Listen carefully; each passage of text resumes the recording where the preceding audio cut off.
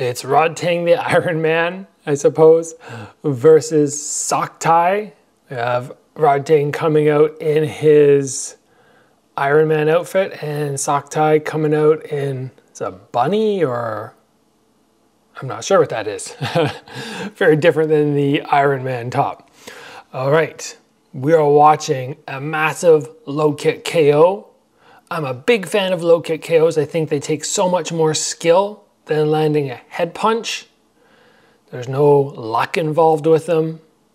You have to land repeatedly, you have to trick your opponent, and we're gonna watch Rodtang do just that. It's a good low kick from his opponent there though. Right now, just a lot of one for ones back and forward, just outside of that striking range.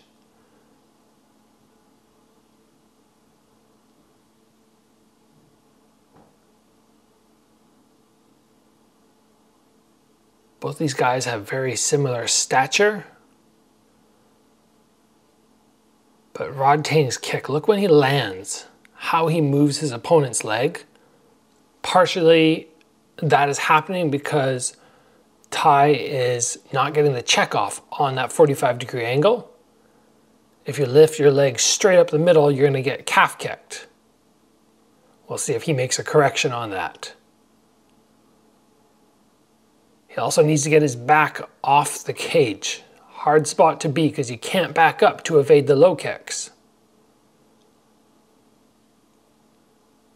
Rodtang using that lead teep very, very well. But his opponent does the same thing. Back and forward they go with very similar techniques at the moment. Rodtang just doing a slightly better job of actually landing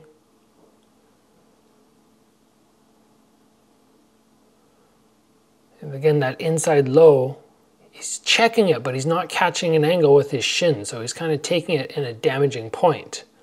That was a great fake there from Rodtang. Pump the low kick, come with a left hook, and then back down to the leg while the opponent is distracted, distracted with a headshot.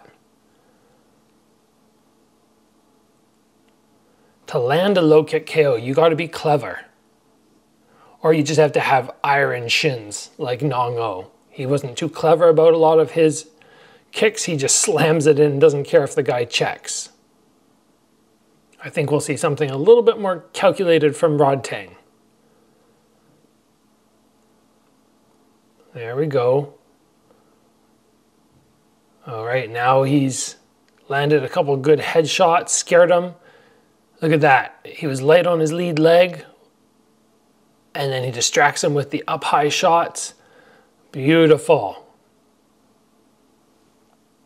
The trick with the low kick is once you land one, you can't keep firing. It's not like head punches because your own leg can get damaged. So you have to return to the head and then when they get heavy, ooh, the round ends there, then when they get heavy on that leg, try and do get ready to base out for those punches, then you chop again. Oh.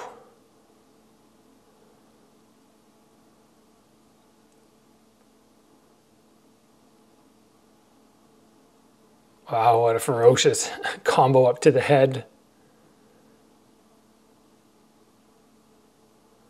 It'll be interesting to see how long his opponent can last. He's visibly damaged.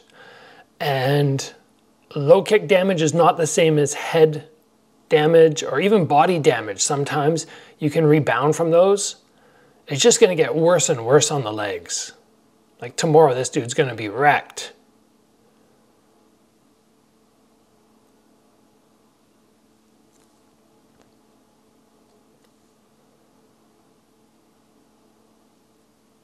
Rodtang doing a good job, not just hunting that leg, waiting for moments like that.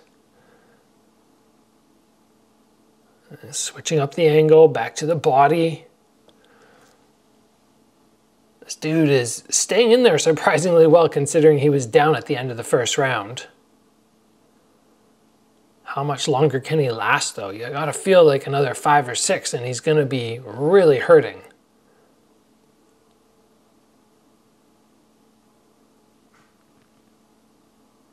I love how he digs to the body. Oh, yeah, and that is it. Rodtang with the low kick KO, like I said, one of the most skilled ways to finish an opponent because there's no luck involved. Somebody checks one or two of those kicks and you're not going to throw anymore. So you've got to find the meat of the leg as opposed to hitting bone. And wow, great job from Rodtang there.